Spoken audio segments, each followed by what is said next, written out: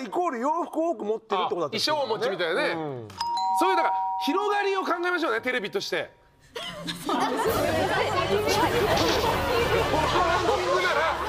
広がり広がりを感じる答えをお願いします。